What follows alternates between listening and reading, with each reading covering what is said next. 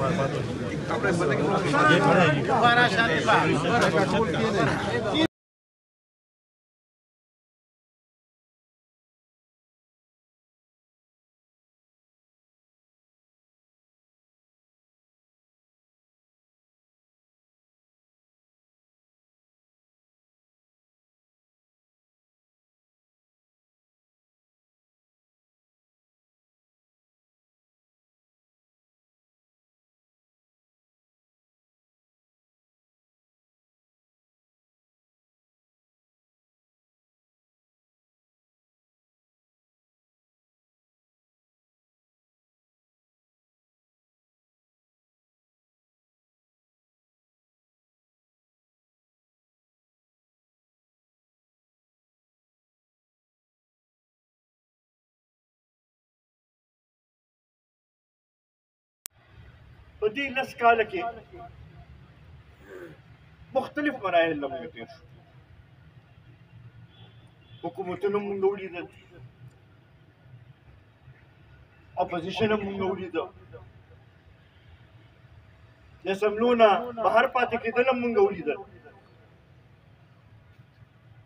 خو په دې یو خبرې باندې زه فخر کوم چې داسې مرګري را سره دي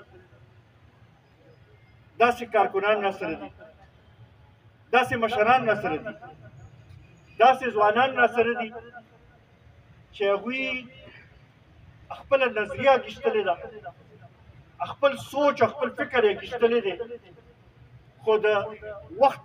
سختې چې دي هغه برداشت کړې دي مختلف قسمه حربي چې دي داغي جواب ورکړی دي او خپل نظریه خپل سوچ او فکر یې مخکې بوتلی دی ستاسو په شان دې کارکنانو باندې ماته فخر دی چې ستاسو په شان ملګري موږ سره وي زندهباد عزتمندو ما نه مخکې شاه صاحب هم خبرې وکړې او هاشم رضا خان هم خبرې وکړې شکیل خان هم خبرې وکړې که موږ وګورو نو د تېر یو څو کالو کې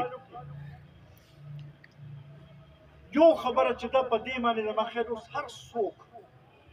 متفق دي چې زمونږ د دې ملک د مسایلو حل چې دی هغه په جمهوریت کې د کنټرول دیموکراسي راوستلو یو کوشش وشو خو د هغې هغه نااهله حکمرانان چې کوم راوستل شوي د هغوی نااهلي او ناتجربه کاري چې ده